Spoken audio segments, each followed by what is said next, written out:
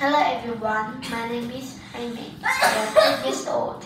I'm from class ES3ESCC. Today I'm going to tell you about a map of the village tiger. In the map, there are some animals, mountains, forest, lake, waterfall and the river. The lake and waterfall are in the village. The mountains are behind the forest. The river is next to the village. The mountains are behind are in the forest.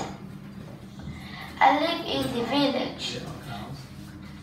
There are cows, rabbits, and pigs. They are in the forest. I live in the village. I play in the forest. I live near the forest because I can play with many animals. I get water and food in the village. I like my mom very much. I can play with neighbors and animals. I climb the rock and swim in the river. I like my mom very much. Do you want to go visit my map? That is the end of my presentation. Thank you for watching. Goodbye.